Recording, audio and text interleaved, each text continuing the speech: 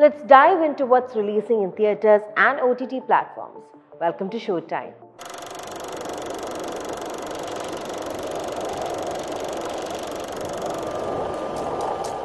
Vidya Balan returns to the silver screen in this rom-com Do Aur Do Pyaar. Directed by Shirsha Guha the film also stars Pratik Gandhi, Ileana D'Cruz and Senthil Ramamurthy. Game for a light-hearted take on life after marriage and the twists and turns in the lives of two married couples. Then book your tickets for Do Aur Do Pyaar. The highly anticipated LSD 2 Love, Sex Aur Dhokha 2 is a sequel to the 2010 film of the same name.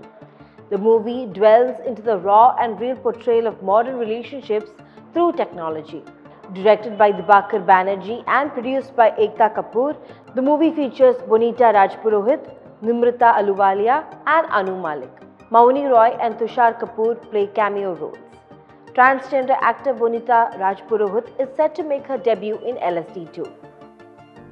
The American dystopian war film Civil War, directed by Alex Garland, is set in the future where a civil war breaks out and a group of military journalists from across the country aims to reach Washington DC before havoc ensues. The film boasts of an ensemble cast including Kirsten Dunst, Wagner Moura and Cailee Spaeny among others. Now let's look into the OTT space. ACP Avinash Verma returns with the second installment of the Silence franchise. Avinash and his team are all set to uncover the truth behind a shootout that occurred in a bar in Mumbai. The plot thickens as they peel off the layers of truth and find themselves entangled in bigger and darker mysteries. ACP Avinash is portrayed by Manoj Bajpayee along with Prachi Desai and Sahil Vaid. Directed by Aban Bharucha, the movie promises a suspenseful, thrilling watch and arrives on ZEE5.